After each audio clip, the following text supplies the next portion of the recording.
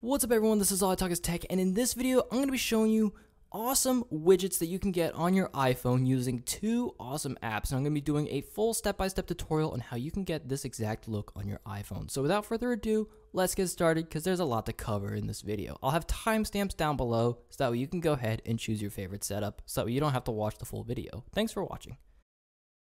So this is the first widget. It's really cool because you got a Google search bar and on top of that, you got some information about the weather, this is the next widget, also pretty nice and clean. You can see you got some info about the weather and it looks very nice and it's transparent as well. You can see the nice little fish in the background. Here is the next widget. This one I think looks awesome because I will show you how you can customize this so you can get a dark mode and a night mode look. Looks pretty insane in my opinion. And I will also be showing you this other widget, which is really, really cool. I'll be showing you how you can get all these, customize them on your iPhone, and things like that. So I will have timestamps down below so that you can skip to your favorite one. So let's get started with the tutorial. So to start things off, we're going to need an app called Widgy. So this is a pretty cool app that you can get from the App Store. It is free. And what I'll be showing you is a bunch of pre-made widgets that I found off of Reddit. I will be linking them down below in the description for you to go and check out. So first thing you're going to want to do is save one of the images down below. I'll have three images and these are for each of the widgets. So this is for the first one. You're going to want to save this image, save this one, and then save this one. Once you have those images saved, go ahead and tap on import widget. Go ahead and tap on OK. And you're going to want to go ahead and choose a QR code from the files. So I'm going to be showing you uh, my favorite one first. So I'm going to tap on allow. And you can see uh, this is, I think, the coolest widget of them all. So you can see this is what the widget looks like. Looks pretty dope, but I noticed that if you set it as your widget on your iPhone, the background won't be transparent and there's actually a bunch of things you need to change in order to get this to work. So I will be showing you how to do that. So you want to tap on edit.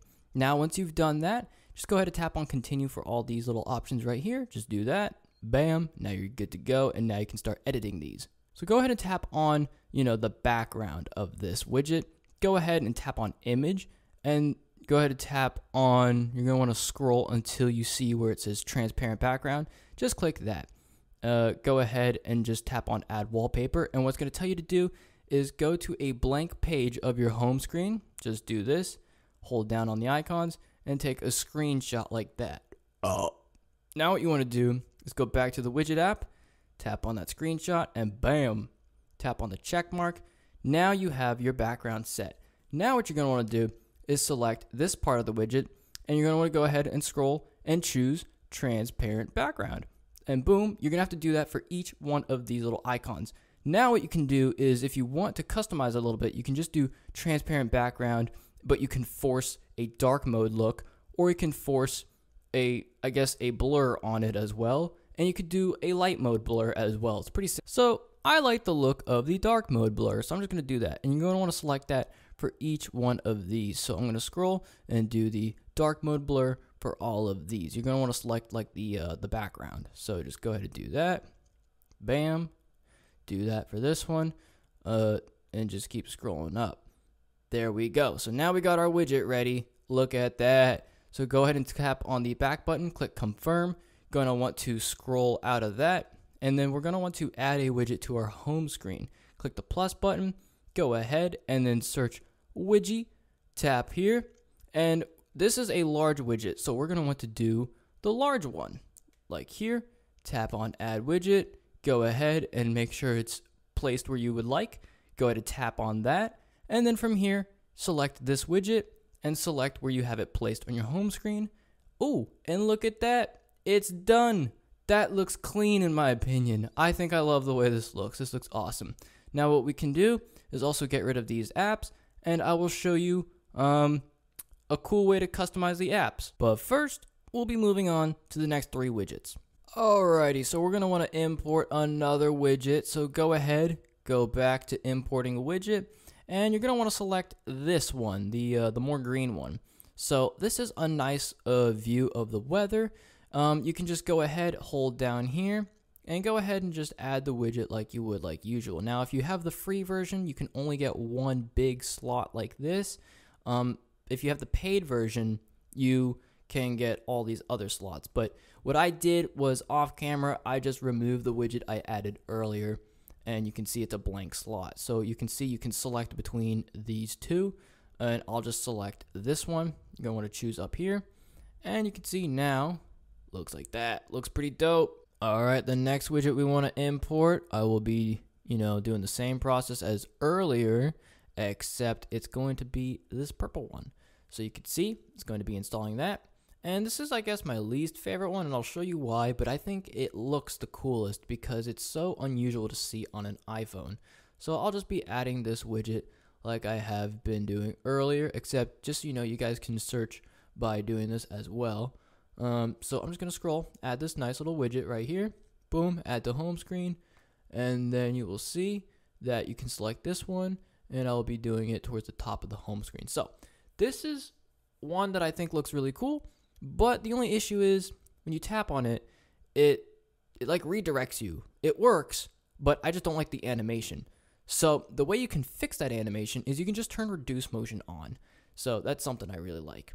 Um, also, something I want to show you guys is how I got those really cool app icons on my iPhone right here. You can see I got quite the number of apps right here, and this is a special app. I'll show you that. And you can see when I click on it, it opens the app directly, which is pretty sick you're going to want to go to the App Store and get an app called Launcher. Just go ahead and skip the instructions because I will be showing you that real nice and simple. You can do them if you want, but these are going to show you um, if you want to add a new widget, if you want to add a large one, small one, or a medium sized one. I'm going to do medium size for this video, so just tap on empty because you're going to be creating a new widget. Uh, I'm just going to call it medium one, and we can add apps to our widget if we would like. So what's cool is we can add apps, or we could add contacts and things like that. So I specifically, uh, I'm just going to be adding one, two, three, four apps. There we go. Just exit out of that. These are the four apps I want to add to my home screen. Now, with the paid version, you can actually do multiple apps. So on this iPhone, I have the paid version, so I have a ton of apps. Um, but the free version just lets you do four.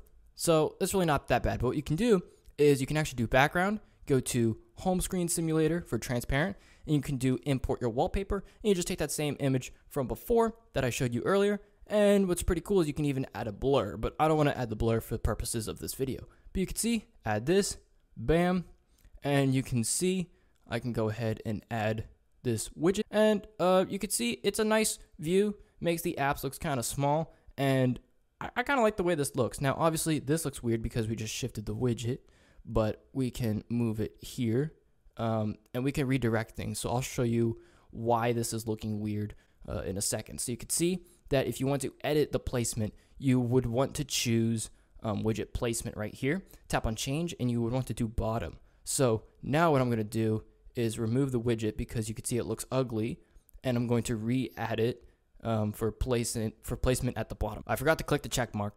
Here we go, click the check mark and now the changes will save. Now you can see right here, drag it down, bam, look at that. I think that looks pretty cool. And the reason I like this one a little better is because the apps are actually smaller. It just, it looks different. I think it looks cool. So um, that's how you can customize your iPhone. Looks pretty sick. Thank you so much for watching. More videos are on the way. And as always, peace.